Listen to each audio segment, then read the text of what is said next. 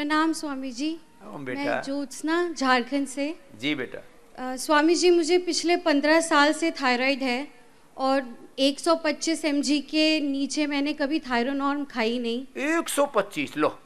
और तो उम्र कितनी बेटा? मेरी 27 साल है सर। और कितने साल से है थायराइड? मैं जब 13-14 साल की तेरह चौदह साल की थी तभी इस गुड़िया को थायराइड हो गया बताओ। और 125 एमजी तक खाती थी फिर? पिछले एक साल से ये मेरे मम्मी पापा हैं। ये अपनी आँखें बंद करते हैं और जो आप बोलते हो वो सिर्फ़ वही मानते हैं। और वो मुझे डेली सुबह पाँच बजे उठाते थे कि स्वामी रामदेव बोल रहे तुम्हें वो मानना है। पिछले एक साल से उज्जाई और सारे अनुलोम विलोम सर्वांगासन हलासन। सब किया और थायरोग्रिड खाया। लास्ट अक्टूबर में अ, मेरी थायराइड की काउंट 15 थी। इस मार्च मेरी थायराइड की काउंट 1.4 हो चुकी है। और और दवा? दवा अभी थायरोनॉर्म सर स्वामी जी जब मैंने टेस्ट कराया तो मैं डॉक्टर के पास गई नहीं, क्योंकि मुझे पता था 125 के बाद 100 एम बोल देंगे। बट वो बंद नहीं करेंगे तो मैं वेट कर रही थी कि मैं पहले यहाँ आऊँ, दिखाऊँ, और मुझे एसिडिटी और कॉन्स्टिपेशन की भी बहुत इश्यूज़ रहे हैं बिकॉज़ मैं थायरोनॉर्म खाती हूँ, उसके साइड इफ़ेक्ट्स बट यहाँ पाँच दिन से मुझे कोई एसिडिटी नहीं हो रही, कोई कॉन्स्टिपेशन नहीं हो रही, कोई वीकनेस कुछ भी नहीं हो रही तो मुझे अब जो कभी। नॉर्मल नहीं आता था वो नॉर्मल आ गया और अभी वो जो एलोपैथी की दवाई कितनी खा रही है? एलोपैथी वाली। हाँ जी। एलोपैथी की दवा। अभी तो नहीं खा रही हूँ स्वामी जी उसे मैं।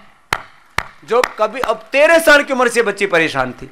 अब ये खाते खाते तो हार्मोनल इम्बैलेंस एक एक स्वामी रुद्रवेश जी हमारे पुराने महा सन्यासी उनकी बहन आई मेरे से दस पंद्रह दिन पहले मिली उसकी आँख यूँ बाहर निकल रही। मैंने कहा बेबे ये क्या हो रखा? बोले थायराइड। बोले, अब थारे पास आई हूँ। मैंने कहा, अब क्यों आई है? पहले से नहीं बेरा था।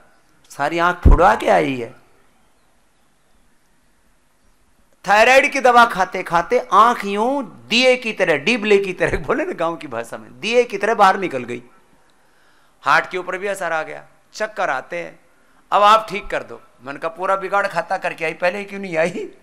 बोले, जी, पहले मैं मानती नहीं थी। क्यों बोलते रहे बाबा?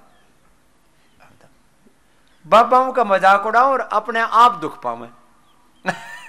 चलो इस गुड़िया के लिए जोरदार ताली बजाओ। इसने माँ बाप की बात मानी कि बेटा भारत का कोई सन्यासी को योगी बोल रहा है हमारे भले के लिए बोल रहा है ना उसको तो थायराइड नहीं है। अपने लिए बोल रहा है मान लो। तो क्या पढ़ाई कर रही है बेटा?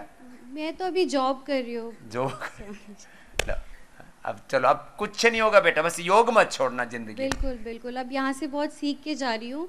और स्वामी जी मेरे पापा को भी डायबिटीज़ डिटेक्ट हुआ था 2018 में। उन्होंने कभी डायबिटीज़ बढ़ने ही नहीं दी वो तभी से ही शुरू हो गए कि बाबा ने बोला है बढ़ना बढ़ाना नहीं है इसे। हाँ बीमारियों को पालना नहीं है तो वहीं खत्म कर लिया। ओम स्वामी जी हम sir at, last eighteen year से हमने कोई दवा नहीं लिया एलोपैथ की। अठारह साल से कोई दवाई कोई लिया। दवा नहीं लिया है सर। हम कोरोना भी पॉजिटिव थे बीस साल में लेकिन सर आप सिर्फ़ स्वामी जी आपकी ही बात एक मैंने क्लिप देखी थी कि बॉडी के रिक्वायरमेंट को कम कर दो। बॉडी जो माँगता है उसको कम कर दो।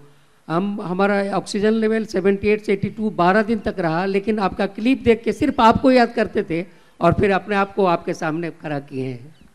एलोपैथी की अठारह साल से दवाई कोई दवा नहीं ली है। और एलोपैथ भी योग से कंट्रोल है कोई दवा नहीं लेते हैं। और धर्मपत्नी? आ, वो